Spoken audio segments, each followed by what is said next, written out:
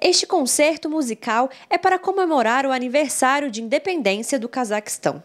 Um país que conquistou sua autonomia há quase 27 anos e que atualmente é a maior economia da Ásia Central. A expectativa para o futuro é ser ainda mais influente no cenário internacional. Uh, hoje uh, estamos uh, entre os, os 50 países mais competitivos do mundo.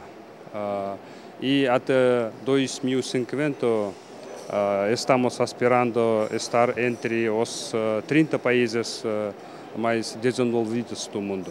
O Cazaquistão foi o último das repúblicas soviéticas a se declarar independente. Apesar da longa distância geográfica, o país tem semelhanças com o Brasil. Porque é um país multiétnico, de grande extensão territorial e próspero economicamente, é um país que tem um potencial econômico enorme. São 25 anos de relações diplomáticas entre Brasil e Cazaquistão. Os dois países têm ativa participação internacional em prol da paz e, para o futuro, pretendem intensificar os acordos nas áreas de agricultura e energia. No final deste ano, a ideia é assinar um memorando de entendimento de turismo.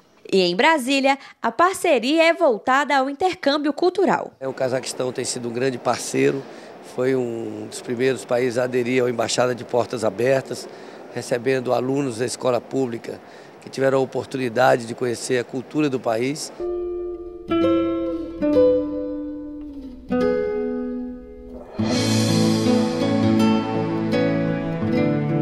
TV Suprem para uma nova consciência, uma nova televisão.